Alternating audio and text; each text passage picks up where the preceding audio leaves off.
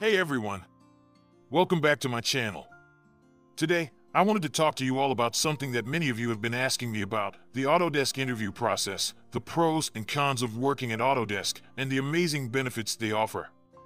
So, let's dive right into it. First things first, let's talk about the interview process at Autodesk. It typically starts with an online application. Make sure to highlight your skills and experience relevant to the role you're applying for.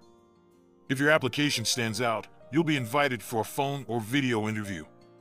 This is your chance to showcase your knowledge and passion for the industry. Next up is the on site interview. This is where you'll meet with various team members and managers. They'll assess your technical skills, problem solving abilities, and cultural fit within the company. Make sure to prepare by researching the company and practicing some common interview questions. Now, let's move on to the pros of working at Autodesk. One of the biggest advantages is the opportunity for growth and development.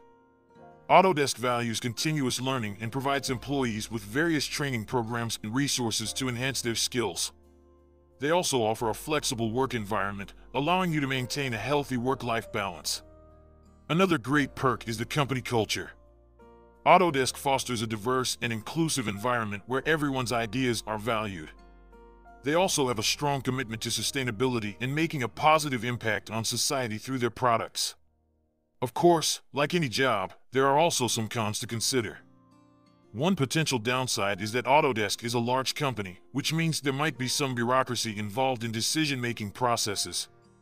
Additionally, as with any tech-related job, there may be times when you have to work under tight deadlines or handle high-pressure situations.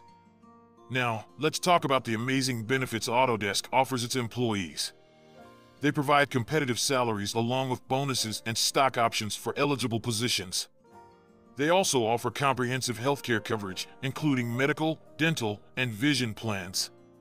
On top of that, they have generous paid time off policies and even provide support for employee wellness programs. So, there you have it, the Autodesk interview process, the pros and cons of working at Autodesk, and the incredible benefits they offer. I hope this video has been helpful for those of you interested in pursuing a career at Autodesk. If you have any more questions, feel free to leave them in the comments below.